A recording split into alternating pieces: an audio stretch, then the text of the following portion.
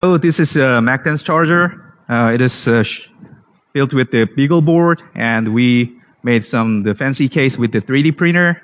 Yeah, it has a power cable and SD card for operating system and some data, and there's a lightning cable which will be connected to the iPhone devices.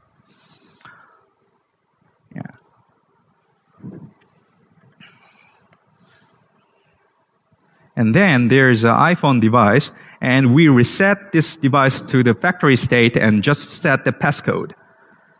And let's look, uh, so there's no installed application, and let's look into the device information.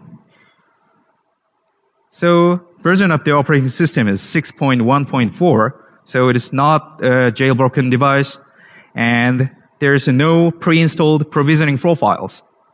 So it is a pristine stay, state and just set it with the passcode.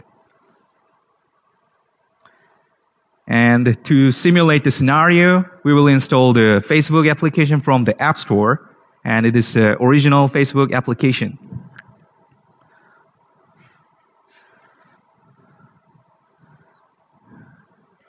So it is downloading and installing the Facebook app.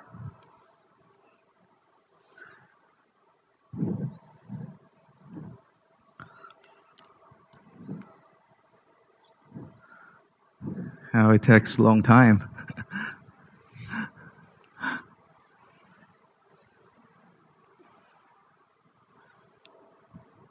yeah, now it is installed and executed.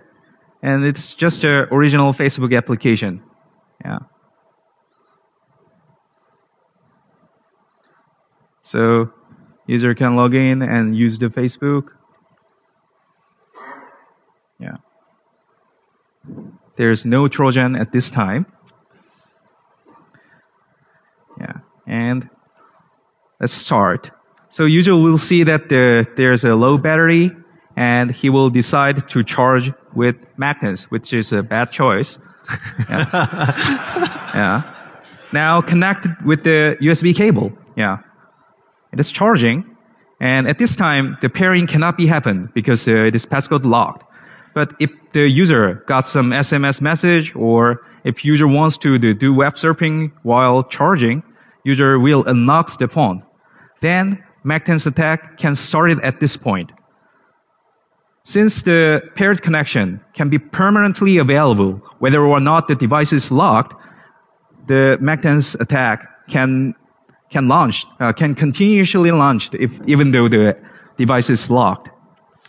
And while Mactans installing the provisioning profile and the application, there's no visual indication of the installing. Yeah. So it is look like it's just regular charging.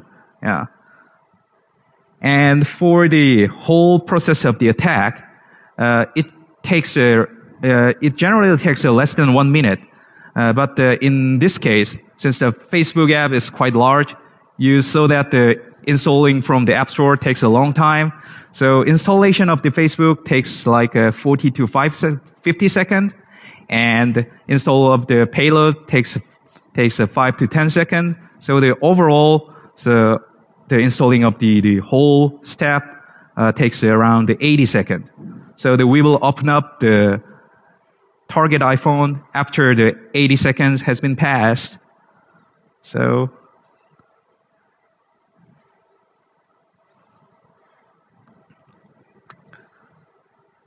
Yeah, let's try to open the iPhone. So unplug it and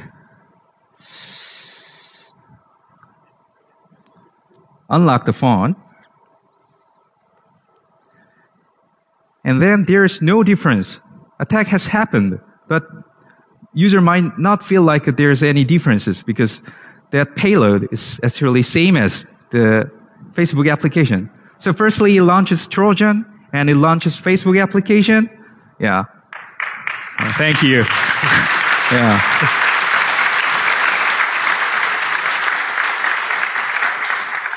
And since the original Facebook application is hidden on the task manager, there's only one Facebook application is shown, and it is actually Trojan. And original Facebook application is not on the Springboard, and it is not only the task manager too. Yeah. And we set the payload to do something after user locks the screen. And let's see what will be happen. Yeah. So there's a no hand at all. It unlocks, types a passcode, yeah, and it will make a phone call to the, the phone right next to them. Yeah, uh, typing the phone number, calling, yeah. yeah.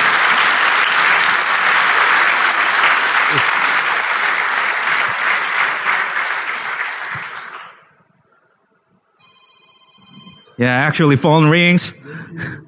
yeah. Yeah, this is Mactans attack. Yeah.